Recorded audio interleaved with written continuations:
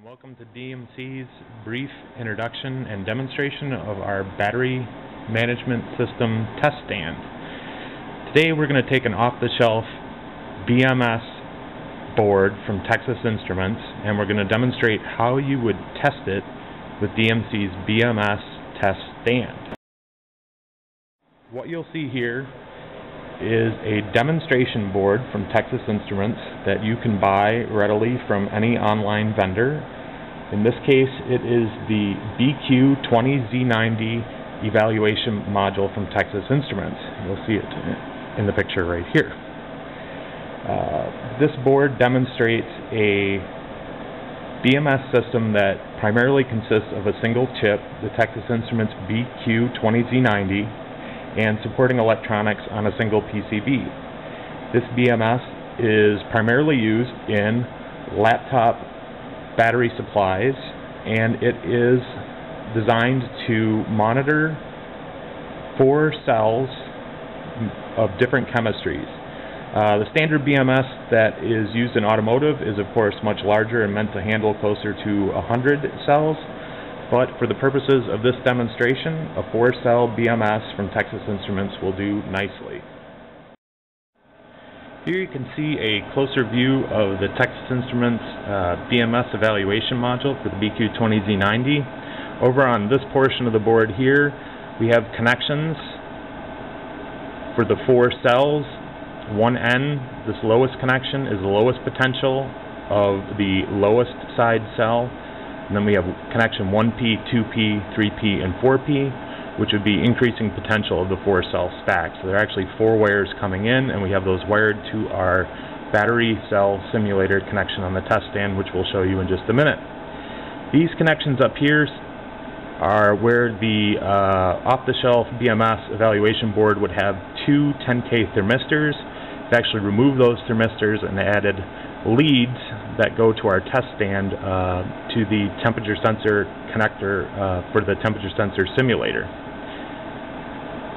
On this side of the board we have a communications port. Of course this Texas Instruments BMS evaluation board uh, does not have CAN. It is actually uh, runs on SM bus which you would find inside your laptop and it's similar to I squared C. Uh, these wires right here make a connection uh, to the back side of the board where the sense resistor is located and we've actually removed that sense resistor and we've uh, placed two leads on there which go to our current sensor simulator which is just an analog uh, voltage output which would be proportional to current. This connector at top is actually a connection which would run outside the battery pack and loop back to tell the BMS system that is actually connected inside um, inside the battery pack to an external system like a laptop or portable electronic device. Uh, this switch right here is actually an indicator which will illuminate the series of LEDs to flash the status of the pack, in particular the fuel status or uh, air condition. Typically you'll see that on your laptop batteries um, as sticking out to give you some kind of external indication of the charge status of the battery pack. So if we take a closer view at the Texas Instruments evaluation uh, software, it's actually pulling the memory registers of the BMS system at this time. It's giving you the alarm status flags. You can see some of them are passing green and some of them are red failure.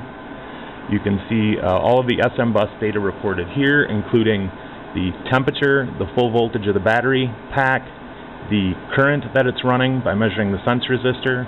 And if we pan over here a little bit, you'll see actually reports the voltage of each individual cell, along with the uh, state of charge of the battery pack. So what we've described here is actually a simulated device under test. So we have a variety of inputs including the battery cell simulator inputs, the temperature sensor simulated inputs, the current sensor simulated inputs, and communication back and forth from the battery pack to the standard uh, evaluation mode software running on this PC here. Now this is not part of the DMC BMS test system, but this system here will act as the BMS under test and we will be using this laptop to measure and monitor the outputs from the BMS system. So now we're going to show you how we actually simulate these inputs into the BMS system. So from our device under test we have a, three different sets of leads which go to our BMS test stand. As you can see here, We have the cell voltage simulator lines. We have five of them connected here. We're simulating four cells.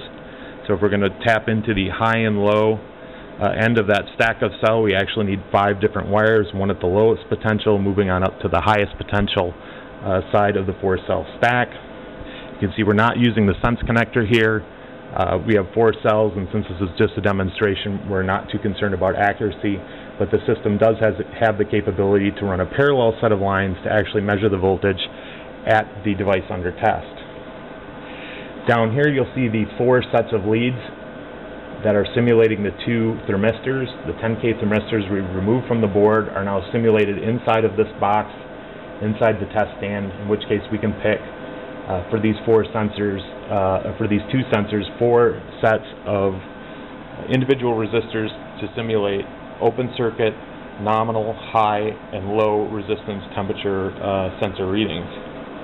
On this connector here, we've plugged in the uh, ground to the test system and the simulated current sensor connection, which we can use to uh, tell the BMS what current it's running. Now we're going to show you the uh, computer associated with the BMS test stand. We pull up the sliding monitor and keyboard tray here, flip it open, and you can see the uh, simulated system state of the BMS tester